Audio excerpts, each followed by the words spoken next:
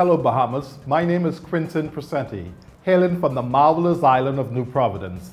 I am a community advocate, son of the inner city, and a proud Bahamian asking for your support to represent the great people and the constituency of Englerston.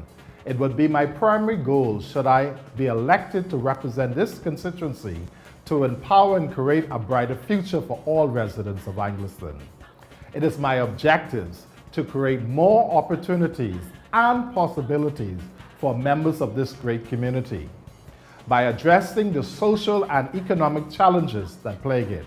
For example, I plan to introduce more after-school activities, technical training programs, establish safe digital centers, and yes, that badly needed community center.